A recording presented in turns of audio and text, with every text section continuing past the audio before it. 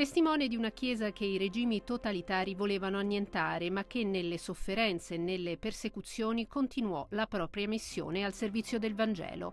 Questa è la figura di Teofilo Matulionis, arcivescovo di Kaišiadorys in Lituania, modello di eroismo cristiano vissuto tra il 1873 e il 1962. A fine giugno è divenuto il primo beato martire della Lituania.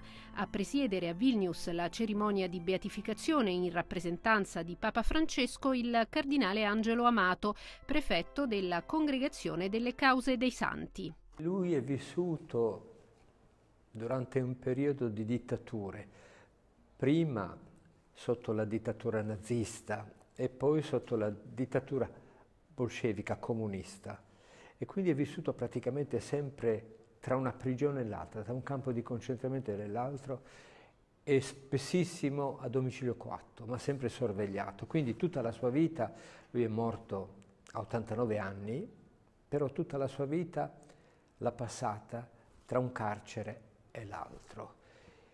E questa praticamente questa permanenza nel carcere l'ha debilitato talmente che la sua parabola di vita viene considerata martirium propter erumnas carceris, che significa, nel termine tecnico, significa un martirio per le sofferenze, per le pene del, del carcere. Teofilo Matulionis fu ordinato sacerdote nel marzo del 1900. Trasferitosi nella città russa di San Pietroburgo, si occupò della costruzione di una nuova chiesa, ma i lavori furono interrotti dalla rivoluzione dell'ottobre 1917.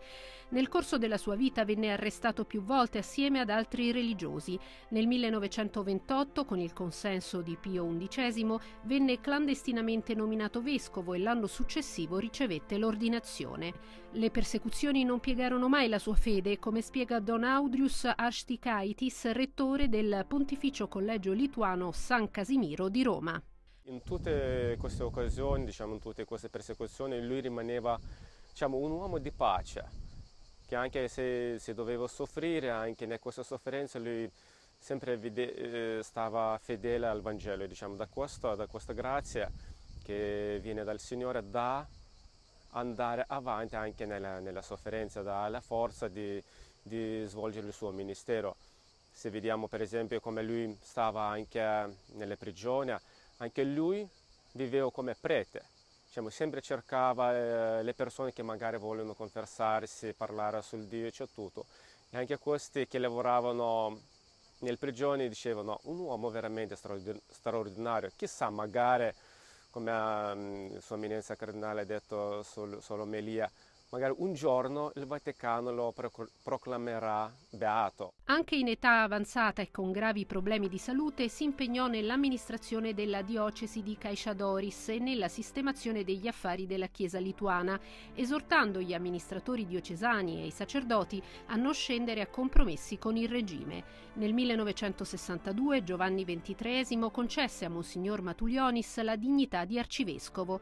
In seguito ad una perquisizione alquanto severa nella casa in cui alloggiava, il 20 agosto 1962 il il nuovo beato morì. Di lui rimane un ricordo indelebile in patria e non solo, come evidenzia il cardinale Amato. Un ricordo vivissimo, tant'è vero che alla beatificazione erano presenti 30.000 persone, così diceva la polizia, e forse anche di più, persone provenienti sia da tutta la Lituania e sia anche dall'estero, con una partecipazione massiccia anche di tutti i vescovi erano una cinquantina i vescovi cardinali e 500 sacerdoti e soprattutto i fedeli.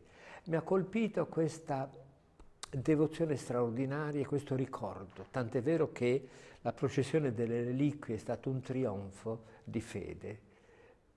E quindi è, una, una, dire, è un simbolo di che cosa possa rappresentare un uomo un uomo di fede contro coloro che opprimono l'umanità. L'esempio di Monsignor Matulionis resta attualissimo soprattutto per i ragazzi del suo paese.